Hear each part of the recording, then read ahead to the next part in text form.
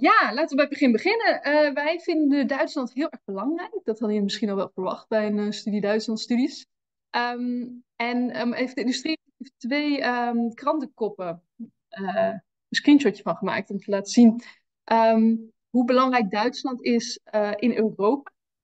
mij viel namelijk op dat we deze, dat toen Merkel wegging, dat is nu ruim twee jaar geleden, zagen we een heleboel koppen ook in de uh, Engelstalige media met um, de leider van Europa treedt af. Uh, wat natuurlijk best wel apart is. Europa heeft in principe geen leider. De EU heeft geen president of premier of wat dan ook. Um, en toch werd Merkel zo gezien.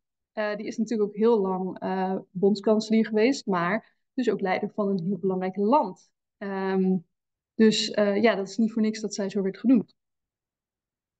ten tweede is Duitsland ook nog eens keer belangrijk voor Nederland specifiek. Um, jullie hebben vast wel eens gehoord van, uh, van de koning die op staatsbezoek gaat. Nou, naar um, Duitsland is hij um, naar alle bondslanden apart op staatsbezoek geweest. Dus kun je nagaan hoeveel, hoe vaak hij daar is geweest en hoe, uh, hoeveel belangen daarbij uh, spelen voor Nederland. en een van zijn uitspraken bij een van die persconferenties die hij daar gaf was ook: Duitsland is onze grootste buur en onze beste vriend best wel een, sterke uitspraak. Um, maar dat herkennen wij wel. Dus het, uh, het beeld uh, in Nederland van Duitsland is eigenlijk vrij positief. Um, en we hebben ja, een heleboel relaties die we op verschillende manieren, um, manieren aangaan en die belangrijk zijn. nou, en dat is dus een van de dingen waar dat het belang van Duitsland om streeft. ook een paar feiten op een rij. Duits is de meest gesproken moedertaal in Europa, of in de EU. Uh, het heeft de meeste inwoners, het heeft de grootste economie en het heeft ook de grootste krant, wat veel mensen niet weten. Um, wat natuurlijk best een uh, interessant element is om, om de grootste uh, ja, media-outlet in schrift te kunnen begrijpen, moet je dus Duits spreken. Um, die krant gaat niet een, een Engelstalige versie lopen uitgeven. Dus ja, dat is best wel essentieel om in de EU te, te, kunnen begrijpen om ook uh, de taal, Duitse taal en cultuur mee te pakken. En uh, nou ik heb een vraag gezet. Is Duitsland het belangrijkste land van Europa? Wij vinden van wel.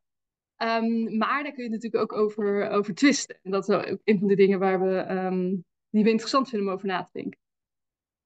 Uh, dan een heel klein stapje terug in de geschiedenis. Ik heb hier een paar momentjes um, ja, uit de geschiedenis en uit de, het laatste nieuws eigenlijk gepakt. van hoe Duitsland zo'n centrale rol in Europa heeft gespeeld. En zeker in de 20e eeuw. Uh, we zien hier uh, de tijd van de romantiek, waar Duitsland in de culturele uh, zin heel erg belangrijk was in literatuur, kunst. Um, maar ook de Tweede Wereldoorlog, Eerste en Tweede Wereldoorlog, waar Duitsland heel centraal een rol natuurlijk heeft gespeeld.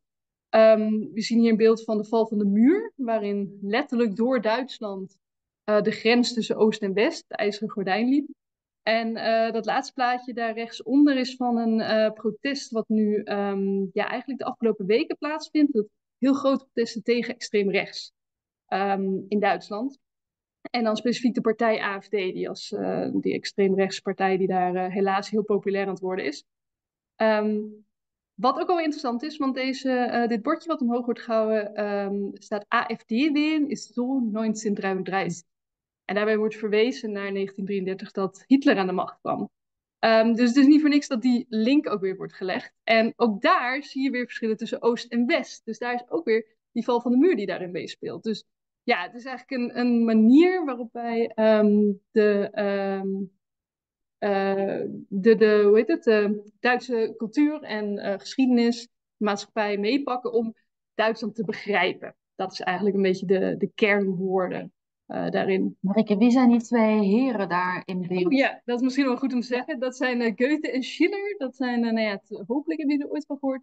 Tweede bekende schriftsteller of ja, schrijvers eigenlijk in de Duitse geschiedenis. Ja. En denkers zeker ook, ja.